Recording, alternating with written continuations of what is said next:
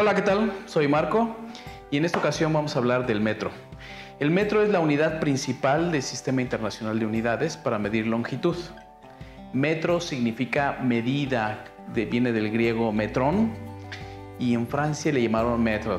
Acompáñeme a conocer un poquito más de su historia.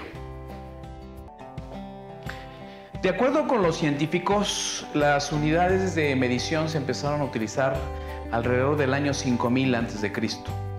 Algunos de los que utilizaron algunas mediciones fueron los egipcios, que utilizaban partes de su cuerpo como lo puede ser el antebrazo, el pie, el pulgar, eh, los dedos.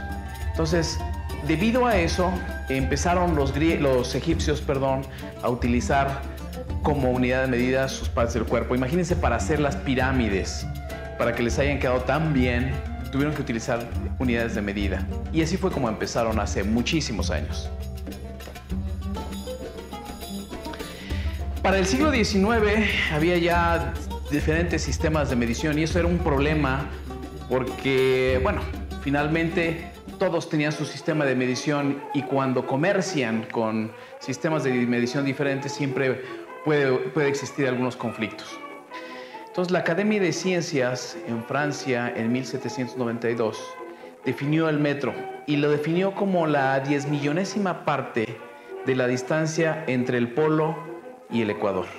Y eso se llamó metro, lo cual se programó, proclamó perdón, hasta el 22 de junio de 1799.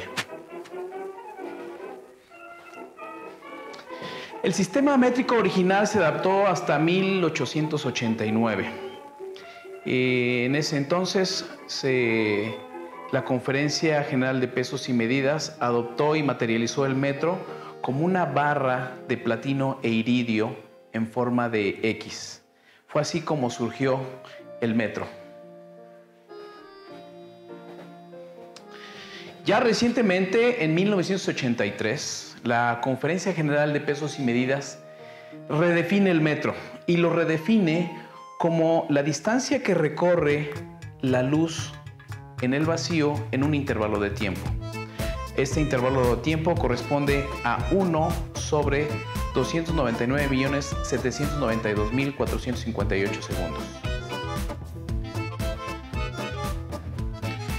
Bueno, ya por último me queda nada más recordarles, metro es eh, cuando lo queremos escribir es una M, una M minúscula no acepta mayúsculas, no se puede poner el plural y no va un punto después de la M, simplemente es la M minúscula. Este, los invito a que sigan en nuestro canal, por favor si tienen algún comentario, alguna sugerencia, escríbanos aquí abajo, con todo gusto los vamos a escuchar. Gracias, hasta luego.